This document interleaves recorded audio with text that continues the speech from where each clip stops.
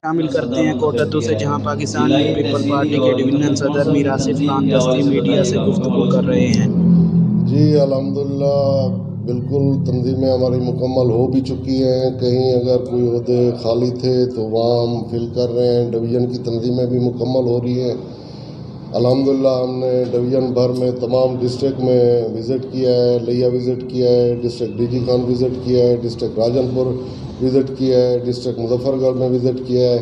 हमारी भरपूर कोशिश है कि हम एक महीने के अंदर डिवीज़न डेरा गाजी खान की तमाम तंजीमें डिस्ट्रिक्ट तहसील यूनियन कौंसल और वार्ड लेवल पर मुकम्मल करने जा रहे हैं और अलाइट विंग्स भी इन मुकम्मल होंगी।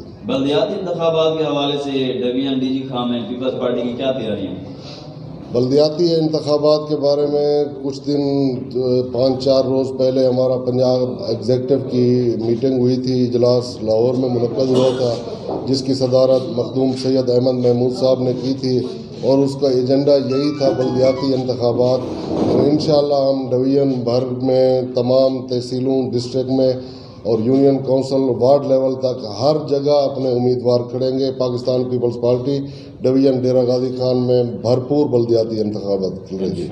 महँगाई को कंट्रोल करने में हुकूमत नाकाम हो चुकी है। आटा चीनी इसके मसाइल सर उठा रहे हैं। इसके बारे में क्या ख्याल है आपका?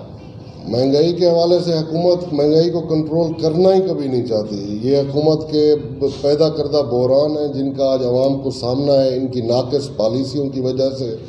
महँगाई इतना ज़्यादा हो गई है कि आम आदमी की चीज़ें, आम आदमी की कुत ख़रीद से बाहर चली गई हैं। लोग दो वक्त की रोटी भी नहीं खा सकते, अद्वियात नहीं ले सकते। पाँच सौ फ़ीसद अद्वियात महँगी हो गई हैं। घी का रेट देखें, चीनी का रेट देखें, आटा का रेट देखें, इसी तरह हर चीज़ महँगी हो गई है। और बिजली की कीमतें देखें आए रोज़ दो रुपए तीन रुपए एक रुपए यूनिट बढ़ा बढ़ा के आज इन्होंने ये पोजीशन कर दी है कि लोग बिजली के बिल नहीं भर सकते गैस के बिल नहीं भर सकते। पेट्रोलियम मसनूआत देखें आए रोज़ पेट्रोलियम मसनूआत में मुसलसल इजाफा हो रहा है। समझ नहीं आ रही कि हुकूमत आखिर क्या चाहती है। लॉन्ग मार्च के हवाले से पीपल्स पार्टी का क्या किरदार होगा? लॉन्ग मार्च के हवाले से पाकिस्तान पीपल्स पार्टी भरपूर किरदार अदा करेगी इन हमारा आइंदा कुछ रोज़ में डिवीज़न डेरा गाजी खान का जनरल इजलास है, जिसमें लॉन्ग मार्च और बल्दियाती इंतबात के बारे में भरपूर और मज़बूत फैसले किए जाएँगे। सफ़ाई के हवाले से तहसील भर में कोई ख़ास इंतज़ाम नहीं किए गए। सेवरेज के मसाइल हैं, गलियों के मसाइल हैं, ताहा रोड टूटे फूटे हुए हैं। कोई मतलब सही उसकी कोई सेटिंग उन्होंने नहीं की। तो क्या आप कहेंगे कि क्या करना चाहिए इंतज़ामिया को? अवाम पाकिस्तान तहरीक इंसाफ की हकूमत से और उनके मंतखब नुमाइंदों से मुकम्मल तौर पर मायूस हो चुके हैं। सफ़ाई के नाकस इंतज़ाम हैं। हर जगह गंद के ढेर नज़र आते हैं। इसी जहाँ हम बैठे हैं, कोटदू शहर को देख लें, जहाँ पर हर गली गंद कूड़ा क्रिकेट से भरी हुई है। सेवरेज के नाकस इंतज़ाम हैं। रोड्स, ये सात रोड पतल रोड बनाया गया है, जो कि पंद्रह बीस दिन, एक महीना पहले कंप्लीट हुआ है। लेकिन आज मेरे साथ आप चले, मैं आपको दिखाता हूँ कि महसूस नहीं होता कि यहाँ कोई रोड नया बनाया गया है, लेकिन पेमटें फ़ौर कर दी गई हैं ठेकेदारों को। नाकस तरीन रोड बनाया गया है, सेवरेज के हर जगह मसाइल हैं। इंतज़ामिया से पूछना चाहते हैं कि आखिर क्या वजह है कि मुलाजमीन के होते हुए भी शहर भर में सफ़ाई के नाकस इंतज़ाम हैं। कहीं सफ़ाई नहीं हो रही है, गन्ने की ट्रालियों की वजह से पूरा शहर जाम है। पुलिस पता नहीं कहाँ सोई हुई है ट्रैफ़िक पुलिस नज़र नहीं आती, कहीं भी लोग बहुत सी मुश्किल में फंसे हुए हैं। दो दो तीन तीन घंटे लग जाते हैं शहर तक जाने में। पोजीशन ये है। तनख्वाहों के हवाले से कल जो परसों बरबरीत हुई है, उधर उनको मुलाजमीन को मारा गया है। और 25 फ़ीसद का ऐलान हुकूमत ने किया है।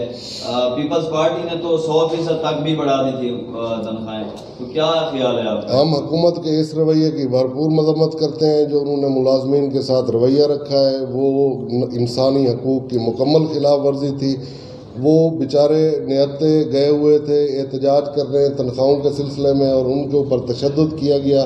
पाकिस्तान पीपल्स पार्टी इस इकदाम, हुकूमत की, इस इकदाम की भरपूर मजम्मत करती है और जो ऐलान हुकूमत ने किया है कि तनख्वाहों के इजाफे के लिए, मैं समझता हूँ कि ऐलानात तो बहुत किए गए हैं, लेकिन आज तक अमल दरामद कोई नहीं हुआ।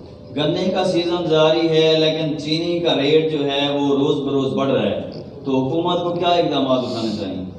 हुकूमत ने ये बहरान खुद पैदा किए हैं, क्योंकि शुगर माफिया उनकी कैबिनेट में बैठी है। पहले भी फ्रांसक रिपोर्ट आई है चीनी के ऊपर उन्हीं की हुकूमत में आई है कि उन्होंने करप्शन की है लेकिन हुकूमत ने कोई अमल दरामद नहीं किया है उन मुलजमों के खिलाफ कोई कार्रवाई नहीं हुई है। क्या लगता है हुकूमत बलदियाती इंतखाबात करवाने में सीरियस है? अगर हुकूमत अब बच गई तो फिर बलदियाती इंतबात होंगे हम इंशाल्लाह भरपूर तैयारी कर रहे हैं हर जगह इनके खिलाफ उम्मीदवार देंगे।